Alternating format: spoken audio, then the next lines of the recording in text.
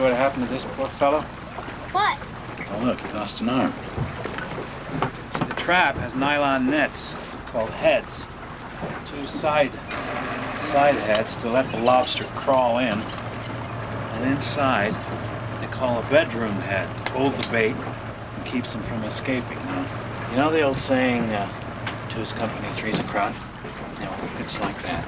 You uh, get more than two of these in a bedroom, and chances are something like that's gonna happen. That's why Frank can't leave these traps for more than a day. Dad, show him this one.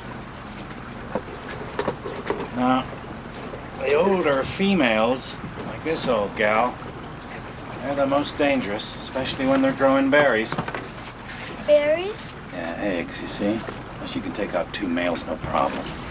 That's when you get a lobster you can't sell.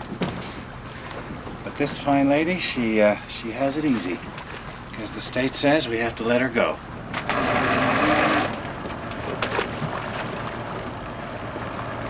Okay, now. You think you can handle this? Mm-hmm. You sure? Mm-hmm. Okay, go ahead. We're in the tank. Good.